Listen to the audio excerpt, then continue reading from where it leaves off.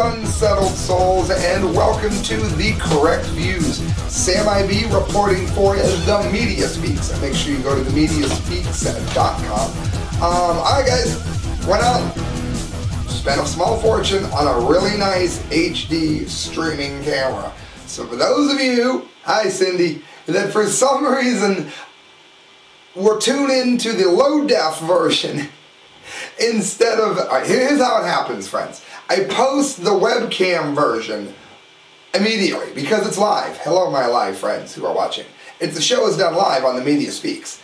Those post immediately, and then for all the graphics and the music and all, well, the gra- some of the graphics are here, but the music and all that and all the sound effects that come in are things that I do in post production on a really, really nice uh, Panasonic camera. So that's why there's two versions that go up. But anyway, my low def people should really be able to see the graphics and all of that, which is good. I put a lot of thought into them, especially when I make them and or choose them. And I've chosen this one. District Judge strikes down NYPD stop and frisk as unconstitutional. Bloomberg vows to appeal the decision. Bloomberg is one of the worst Americans I've ever seen in office, uh, uh, you know, except for maybe a few of the presidents. Uh, this guy is abysmal. He would have been perfect in the Soviet Union, uh, Russia days. He'd have been perfect. Uh, for those of you that don't know, uh, New York has been, for the better part of a decade now, maybe even over, stopping people on the street, even if they don't suspect them of any crime, just to make sure they're not going to commit a crime. And of course, that's that's everything antithetical to what the United States of America is supposed to be. So uh, with that in mind, we're going to go ahead and get into this story. It's from Infowars.com. New York City's stop and frisk policy was, and I will add thankfully, declared unconstitutional today by a U.S. District Court judge who ruled that the practice of stopping and questioning and searching pedestrians violated key provisions of the Constitution.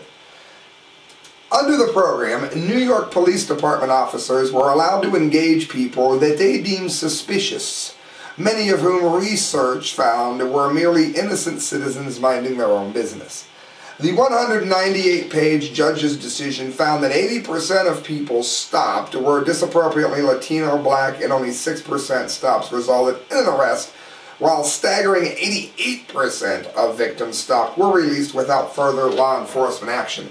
Now, see, I understand, and it unfortunately is a sad fact of reality, that most crimes are in fact committed by African Americans in terms of the people that are caught with, you know, violent crimes of the nature that they think that they're stopping. That does not justify stopping the vast majority of perfectly innocent black people because they happen to be black. I was actually on Zimmerman's side during the trial, as many of you know who saw the video. Go on my channel, it's still posted. Passing time, search Zimmerman. I am in favor of every minority who has been stopped with this you were discriminated against. And that is exactly what I think happened. But it's bigger than that because they're going after all of us. The Fourth Amendment is supposed to apply to everybody, black, white, or in between. The decision also gave various testimonies from people who were unconstitutionally stopped and frisked, and instances in which officers failed to state a specific suspected crime, the percentage which rose from 1% in 2004 to 36% in 2009. Um, listen to this, this is awful. People have a right to walk down the street without being targeted by police, but people also have a right to walk down the street without being killed or mugged, the mayor said. And that is why, Mr. Mayor, if you would do things in your in your uh, city, such as uh, work towards marijuana decriminalization, that one act alone would put a lot of non-violent people on the street, and you would have more room in your jails for the violent criminals that inevitably will be in any society, and you can keep them locked up longer. That is the solution. That is the correct view, by the way, not targeting people for stop and frisk as they walk down the street. Um, friends, I'm going to go ahead and get to, you know, everyone says how dangerous cities are. Big cities are just so dangerous. Well, friends, that might not be the case. And I'm going to go ahead and uh, call up here a picture of the Big Apple for everyone. There we go. Now, death trap, right? Guaranteed to be a death trap. Don't live there, you're going to die. Cities safer than rural areas when it comes to injury-related deaths, say the study by Roxanne Palmer. This is ibtimes.com. Um, and this is interesting. First of all, we have, as we know, violent crime plummeting, going down, down, down. Violent crime rose a little. Uh, it looks like it's going to rise this year a little. But within the last 10 years, we're still much lower than we were. And we remain low.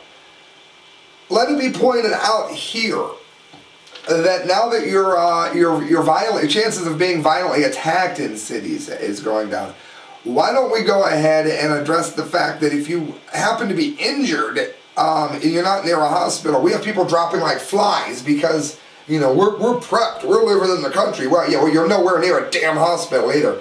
Um, I know that my uh, my girlfriend's mother has uh, a, a, thing where she'll be life flighted. That's great. I mean, she lives in Bufu. You got to do something like that if you live there, because let's face it, your chances of being hurt in a big city have never been lower than they are now. This is particularly true unless you're uh, unless you're talking about places like Chicago, which has created violence by uh, enacting gun laws. Um, other than them, it's going down in most cities. Um, the concrete jungle, it says, is actually safer than you may think. A new study of hospital data finds that you are much less likely to die from an injury in the city than in the country. That's true. and on a smaller scale, I cut the tip of my finger off on a broken aquarium December 5th. Drove myself to uh, the hospital, which is right down the street, and wouldn't you know, I still have my fingertip. They sewed it back on. If I lived in Bufu, that would have never happened. Um, in a study forthcoming in the Annals of Emergency Medicine, University of Pennsylvania researcher Sage Myers and colleagues analyzed 1.3 million injury deaths that occurred between 99 and 06. Most of these victims were under 45 and lived in urban areas, suggesting that it's more dangerous to live in the city. But when the researchers looked a little closer at the proportion of the urbanites and country dwellers, a surprising trend emerged. In urban areas, a person's risk of injury related death was about 20% lower than the same risk faced by their country cousins. And that's what happens when you move yourself so far away from uh, uh, any help that when you do have some kind of an issue, you're, you're immediately done. Um, it says when numbers broke, when scientists broke the numbers down by demographic factors, other patterns emerged. Rural countries, rural counties, excuse me, populated mostly by black people were much safer than rural counties with the lowest percentage of black residents. Injury-related fatality rates were virtually the same in both heavily white and heavily black urban areas. I do hate when they break everything down to color because it means nothing. Uh, friends, Natural Society, new research. The average person is exposed to cancerous levels of toxins. For you top 40 Usher fans, that means uh, cancer. You're going to get cancer, and there's levels of things that cause it in vast abundance in your body. And here we go. Natural Society says we know that there are toxins in our food. These toxins toxins exist in varying levels and come from sources let me get rid of this picture because it's probably confusing at this point. The research comes from the University of California. It says they exist in varying levels and come from sources like pesticides, soil contaminations, and even the seeds themselves. We can minimize our exposure to these toxins by eating organic and growing our own foods. Now, I'm going to stop for one second. This, this is a huge problem that you never hear addressed. Yours truly would love to eat all organic. I would also like to be a millionaire, which is the only way that someone can afford to do so. Part of the problem is the organic food sellers. They are charging insane amounts of money for their produce and, and pretty much all organic things actually. So when you hear you should eat all organic, you should also be a millionaire. They are part of the problem. I'm going to go on.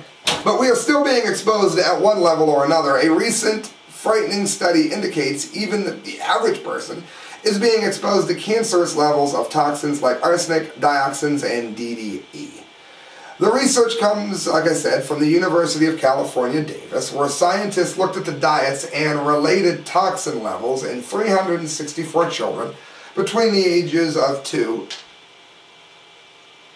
and it doesn't say what the other number is. That's funny and 7,000, okay, I'm sorry, it's, it's worded badly, 364 children between the ages of 2 and 7,446 parents of young children and 149 older adult, adults. How badly can one sentence be worded? Uh, what they found was not only troubling, but truly scary. Um, using dietary surveys and toxin content, content data sets, the scientists were able to determine an estimated toxin level and compare this to the cancer benchmark of each compound. The cancer benchmark, it goes on, is a term used to describe the exposure level that one would generate one ex would generate one excess cancer per 1 million people over a 70-year lifetime, according to National News. All right, guys, here's what they found. Arsenic found mostly in poultry, cereal, salmon, tuna, and mushrooms. Uh, tuna and mushrooms after Fukushima, do, if you're eating either one of those, you might as well just blow your head off because you're already juicing yourself. They are radiated because the tuna uh, coming out of the Pacific Ocean is absolutely poisoned. And the mushrooms, they, they, they grab uh, nuclear elements. So just don't eat those anyway. Um, DDE uh, found in dairy, potatoes, meat, freshwater fish, and pizza. Freshwater fish being particularly disturbing since already Fukushima has ruined the ocean. Um, Dieldrin, dietary meat, cucumber, cantaloupe, pizza. So even a cantaloupe isn't safe. That's awful. Uh, chlordane, uh, dairy, cucumber, meat, popcorn, and potatoes. Dioxins, dairy, which again affected by Fukushima in great numbers. Meat, potatoes, cereal, and again mushrooms. Mushrooms that I used to love, I never eat anymore. Um, acrylamide, crackers, fried potatoes, cereal, graham crackers, and chips. It says going organic if you're a billionaire, and giving up processed foods if you're a billionaire is the best way to steer clear of these foods and know with reasonable certainty what you are putting into your body. Yet with somebody, and I'm a fan by and large, but someone needs to tell the natural society here that not everyone can afford to do that. Boneheads! Um, the Bud K catalog. Make sure you get it go to themediaspeaks.com, click on Bud K. You do it that way, you help the Media Speaks. We keep getting money in and we can keep doing what we do. We can do it better and we can do it more efficiently with, with better gear when you help us. And one way to do it is by going to the Bud K catalog. Uh, this is great. They've got really interesting things here. Cobra self-cocking cocking tactical crossbow pistol, 80 pounds, $39.99. They're practically giving it away. Um, LifeStraw personal water filter, 19.99. You can pretty much drink anything within reason, and that that LifeStraw goes ahead and makes it uh, makes it, it's a survival item. It's exactly what you need to survive. And again, you're looking for just a little bit of fun. All right, fine. The M48 Commando Survivor Training Hamel Tactical Hiking Staff, 84.99. Um, does everything but your laundry. Uh, go camping this summer. Go out, have some fun, enjoy yourself. Go to Bud K's uh, by going to themediaspeaks.com. Click on the Bud K ad and know that you're helping us and that we appreciate it. We can keep these things going. The Media Speaks. Alright guys, I'm going to get two more stories for you. Metadata can tell the government more about you than the content of your phone calls. You know how, um, again this is Washington's blog, you know how the, the government is saying, we're only taking your metadata, not the actual content of your conversations. Well, actually, that is untrue. They are taking the content of your conversations. But um, let's get into this idea of metadata a little bit. The government has thought to reassure us that it is only tracking metadata, such as the time and place that the phone calls were made, and not the actual content of the calls. But technology experts say that metadata can be more revealing than the content of your actual phone calls. For example, the ACLA, ACLU notes a Massachusetts Institute of Technology study a few years back found that reviewing people's social networking contacts alone was sufficient to determine their sexual orientation. consider metadata from email communications was sufficient to identify the mistress of then CIA Director David Petraeus and then drive him from office. They also went into his email account spied on him illegally, looked in the draft folder to find it. They had a fake email set up, and rather than send emails to each other, Petraeus and his lover would just leave drafts in the inactive email account, and it was still gotten into. So they are taking more than they say, by the way. The who and the when and how frequently of communications it goes on are often more revealing than what was said or written. Calls between a reporter and a government whistleblower, for example, may reveal a relationship that can be incriminating all of its own, and now you've found a new way to stop the press. Now, haven't you? Freedom of speech. Repeated calls to Alcoholics Anonymous, hotlines for gay teens, abortion clinics, and a gambling bookie may well tell you what you need to know about a person's problems. If a politician were revealed to have repeatedly called a phone sex hotline after 2 a.m., no one would need to know what was said on the call before drawing conclusions. In addition, sophisticated data mining technologies have compounded the privacy implications by allowing the government to analyze terabytes of metadata and reveal far more details about a person's life than ever before. If that does not spell out to you why this metadata thing is so important, important, and you simply have a pumpkin for a head, because there's no other way around it, they can tell what you're doing, or at least they think they can. Let me add that for this show, I've been to Al Qaeda websites, so I'm, according to my metadata, a terrorist. See how that's a slippery slope? Well, he does a political show, and he's been to an Al Qaeda site or ten, uh, looking up stuff. So you know, hell, he's got to be a terrorist. Arrest him! Not, you're wrong. That's why they shouldn't be doing it. So here we go. It's some of the other things your metadata can give you. Uh, give them. They know you They know you rang a sex phone service at 2:24 a.m. and spoke for 18 minutes, but they don't know what you talked about. They know you called a suicide prevention hotline from the Golden Gate Bridge, but the topic of the call remains a secret. Only a Kesha fan couldn't figure that out. They know you spoke with an HIV testing service, then your doctor, then your health insurance company in the same hour. They don't know what was discussed. Of course not. They know you received a call from a local NRA office while it was having a campaign against gun legislation and then called your senators and congressional representatives immediately after. The content of those calls remains safe from government intrusion. That sounds safe to me. Uh, last one. They know you called a gynecologist, spoke for a half hour, and then called the local Planned Parenthood's number later that day. But nobody knows what the conversation was about, so you're safe. That, I think, spells out exactly why metadata is way, way uh, not the safe option. Like this this notion that we need to know everybody that's had an abortion to catch terrorists is simply uh, insane. Last thing I want to get to, I haven't ended with my science stuff in a while. Shame on me. Um, FoxNews.com, pink alien planet is smallest yet photographed. It's bigger than Jupiter. That's insane. Or as Paul Joseph Watson would say, that's absolutely insane. Uh, we love you, Paul. Astronomers have snapped a photo of a pink alien world that's the smallest yet exoplanet found on a star-like sun such as ours.